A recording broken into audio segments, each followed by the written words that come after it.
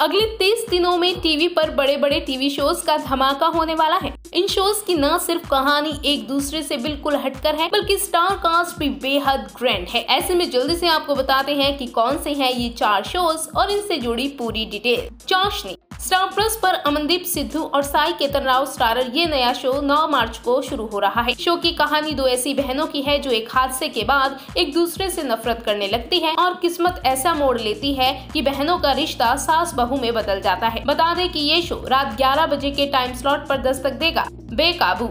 Colors TV पर आने वाले इस नए शो में शालीन भनोट और ईशा सिंह लीड रोल निभाने वाले हैं। खबरें हैं कि ये शो 18 मार्च से रात 9 बजे के टाइम स्लॉट पर वीकेंड पर दस्तक देगा। छलांग सोनी टीवी पर आने वाले इस शो में लीड रोल में नज़र आएँगी एक्ट्रेस मेघा रे, जिन्हें आपने अपना टाइम भी आएगा शो में देखा था। लंबे वक्त के बाद मेघा छलांग नाम के इस नए शो से वापसी कर रही हैं। बता दें कि इस शो की कहानी एक ऐसी लड़की की है जो कुछ बनने और अपने सपने को पूरा करने के लिए छोटे शहर से मुंबई में आ जाती है। ऐसे में उसे किन किन मुसीबतों का सामना करना पड़ेगा और कैसे वो अपने सपने को साकार करेगी, ये आप इस शो में देखेंगे। बता दें की खबरें हैं की ये शो अप्रैल के सेकेंड वीक तक शुरू हो सकता है। मेरे अपने मेरे अपने भी सोनी टीवी का ही नया शो है, जिसमें लीड रोल निभाने जा रही हैं टीना दत्ता और जय भानुशाली। शो की शूटिंग शुरू हो चुकी है। आए दिन सेट से कई तस्वीरें और वीडियोस भी सामने आती हैं। खबरें हैं कि ये शो मार्च के अंत तक टीवी पर दस्तक दे सकता है।